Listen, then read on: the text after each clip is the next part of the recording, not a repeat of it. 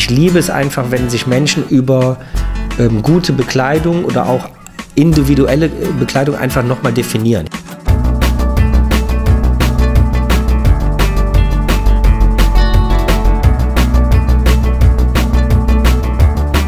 Ich komme aus der, ich nenne sie mal Adenauer-Dynastie. Das heißt, bin der, einer der Enkel von Konrad Adenauer. Mein Vater ist der Georg, der jüngste Sohn von Konrad. Wenn Sie mich fragen, wer ich bin, sage ich, ich bin Christ.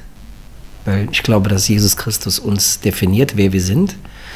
Und ähm, das definiert im Grunde auch dann eigentlich mein Leben und bin seit über 30 Jahren in der Textilbranche. Da hat mir der liebe Gott wohl irgendwas mitgegeben, was kaufmännisch, kreatives und ich habe immer, immer Bekleidung geliebt. Habe seit sieben, acht Jahren jetzt meine eigene Firma, war vorher in der Textilindustrie tätig, habe aber angefangen im Grunde auf der Straße als Handelsvertreter aus dem Golf 1 und hatte einen kleinen Laden in der Eifel. Ich hatte später dann mal mehrere Läden und hab dann bin dann als Handelsvertreter habe das ausgebaut und bin darüber dann irgendwann ins, in, in die Produktentwicklung und Management von Textilfirmen gekommen. Wo ich am meisten gelernt habe, waren so sieben Jahre bei der CBR-Gruppe.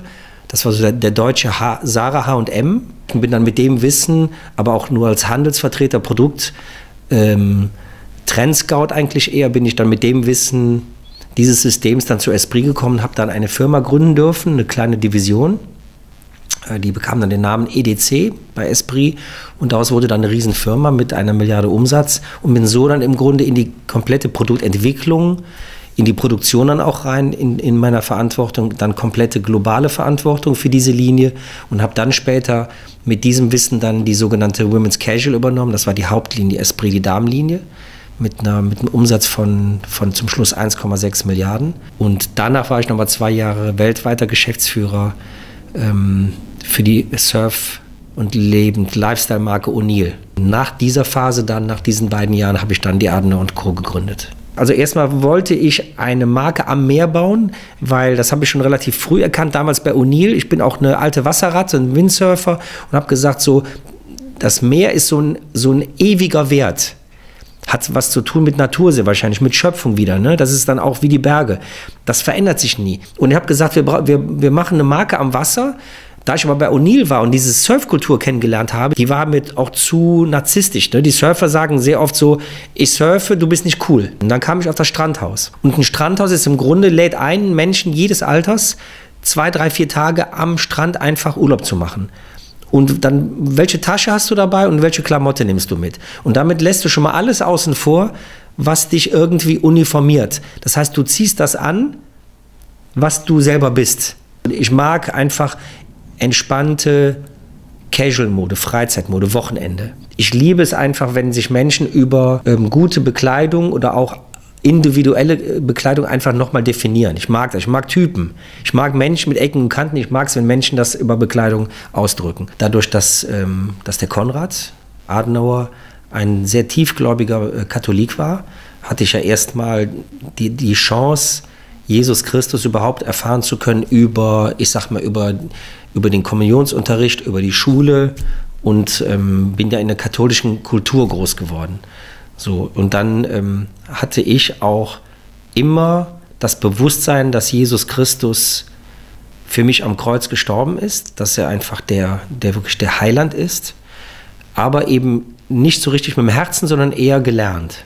Und dann ähm, bin ich über eigentlich meine, meine relativ jung, habe ich geheiratet, bin dann, nachdem diese Ehe dann kriselte, so nach dem siebten, achten Jahr, habe ich mich dann sehr intensiv äh, mit der Bibel auseinandergesetzt, auch mit mir selber irgendwo. Das war dann so eine, so eine Selbstfindungsphase. Das mündete dann irgendwann darin, dass ich dann äh, ein paar Jahre später für Esprit dann versetzt wurde in die Vereinigten Staaten und bin dann dort in eine Baptistengemeinde. Und da habe ich mich dann auch nochmal taufen lassen, nach einem Jahr ungefähr und mich auch dann wirklich bewusst zum ersten Mal wirklich für Jesus entschieden, weil ich da zum ersten Mal auch das Evangelium erst wirklich so vom Herzen her verstanden habe. Da auch den Heiligen Geist zum ersten Mal wirklich bewusst erfahren und und das war so eine wichtige Zeit für mich. Und das ist eigentlich das Fundament so gewesen für, für meinen Glauben, den ich heute habe. Also ich weiß, ich glaube, es gibt nicht so ganz viele Menschen, die so viele verschiedene Kirchen besucht haben. Ich war ja dann bei Esprit zehn Jahre lang unterwegs in der ganzen Welt Und ich habe äh, gerade im nordamerikanischen Kontinent habe ich immer versucht, in verschiedene Kirchen zu gehen. Es ging dann meistens so, dass ich irgendwo eingecheckt habe in Seattle im Hotel, habe gesagt so äh, zum Morgen Sunday Morning, welche welche Kirchen gibt's hier? Und dann haben dann so ein Concierge sagte mir dann in der Regel, also wo willst du denn hin? Laut, ähm, äh, lively oder äh, Catholic oder so. Ne? Und da habe ich eigentlich immer gesagt, so, habe dann immer tendiert zu Gospelkirchen, so, weil ich bin emotionaler Typ. So, ich habe wirklich schon unheimlich viele verschiedene Kirchen gesehen und ähm, kann einfach nur sagen, dass die Kathol der katholischen Kirche holt mich die, ich sage es jetzt mal ganz salopp, die Veranstaltung holt mich, holt meine Seele nicht ab. Und trotzdem die Botschaft ist ja die gleiche wie da, wo ich heute hingehe, nur sie ist anders verpackt und ähm, sie hat auch, glaube ich, andere Prioritäten, wie sie, wie sie vermittelt wird. Ich habe zum Beispiel mittlerweile große Schwierigkeiten, wenn ich auf eine katholische Taufe oder so gehe, weil ich glaube eben, dass, dass, dass die, die Bibel das Wort Gottes ist und da steht eben nicht drin, dass man die Kinder taufen sollte. Da steht eben drin, dass man viel Zeit in Gottes Wort verbringen sollte. Die Bibel sagt, ne, studiere meine, meine, meine, meine Gesetze, meine Gebote und das heißt, hat für mich auch viel damit zu tun, verbringe Zeit mit der Bibel. Und das finde ich in der katholischen Kirche so eben nicht wieder. Aber nochmal, deswegen würde ich nie sagen, zu anderen Menschen geht nicht in eine katholische Kirche. Das steht mir nicht zu, das bin nur ich. Ich habe so ein bisschen Problem damit, wenn, ähm, wenn, wenn Textilfirmen politisch werden oder vielleicht auch religiös, weil ich dann ja auch anfange, Menschen irgendwo ein, einzufangen oder auszuschließen. Trotzdem bin ich der Meinung, dass die Botschaft eines Produktes, und wir sind halt in, einer, in, einer, in so einem Zeitgeist, in dem man viel eben auch auf, den, auf die Klamotten draufschreibt. Und wir haben halt irgendwann mal entschieden, als wir merkten, dass wir eine deutsche DNA bekommen sollten, haben wir angefangen, das war eigentlich ich, der gesagt hat, jetzt schreiben wir mal einfach nur deutsche Worte. Und das war so vor sechs Jahren noch nicht ganz so cool. Grundsätzlich glaube ich einfach, dass es auf der Welt so viel um uns herum in den Medien so viel Negatives gibt, was ja überhaupt nicht die Welt widerspiegelt. Und ich habe dann gesagt, warum machen wir nicht einfach genau das Gegenteil und versuchen die Menschen einfach, wenn wir schon einen Text da drauf haben oder ein Wort, dann sagen wir etwas, was die Menschen einfach in dem Moment ermutigt und nicht, ähm, und nicht aggressiv ist oder negativ. Wir haben montags morgens, lade ich immer ein zum Gebet, Firmengebet. Und ähm, da schreibe ich immerhin für alle. Ne? Dann schreib, manchmal schreibe ich auch für Sünder oder für Nichtchristen, so, ne? Und bin dann, dann kommt da meine Kölner Art raus. Und was ich damit im Grunde sagen will, ist es vollkommen egal, wer du bist. Du kannst hier montags morgens beten für deine Familie, für deine Angehörigen, aber in erster Linie beten wir für die Firma. Ob die Leute, die da mit mir beten, das ist unterschiedlich. Manchmal sind da zehn, manchmal sitze ich alleine. Und ob die ähm, in dem Moment äh, Jesus so begreifen oder im Herzen haben wie ich, das spielt für mich keine Rolle. Sehr oft Menschen mit Firmen, ich sag mal in Führungspositionen, die brauchen ja ganz besonders Werte, weil die beeinflussen ja viele, viele Menschen in der Regel. Und sind dann oft auf der anderen Seite auch leer, weil die sich ja im Grunde überproportional stark mit dem beschäftigen, was sie tun. Wenn die dann noch erfolgreich sind, mittel oder sehr erfolgreich, dann haben die sehr oft aber Defizite auf der anderen, auf der anderen Seite, auf dieser seelischen Seite. Zwei Prinzipien sind mir besonders wichtig. Erstmal das Prinzip, dass man als Arbeitgeber eine Verantwortung hat für seine Mitarbeiter. Ich möchte meine Mitarbeiter nicht nur sehen als Arbeitsmaterial oder, oder Manpower, die irgendwas arbeiten, sondern den größten Teil ihres Lebens verbringen die bei mir in der Firma.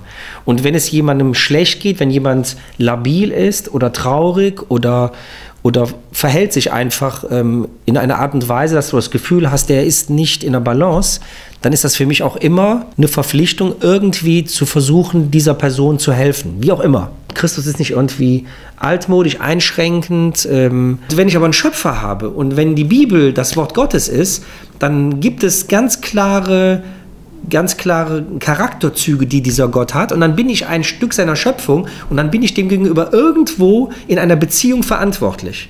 Und das, hat Konsequenzen. Und, und ich glaube, dass viele Menschen vor dieser Konsequenz wegrennen, weil sie denken, dass Gott exklusive ist. Nach dem Motto so, dieses Richtende. Du bist schwul, du gehörst nicht zu mir. Du hast gesündigt, tun wir alle jeden Tag, du gehörst nicht zu mir. So, und damit bist du eigentlich raus aus der Gnade.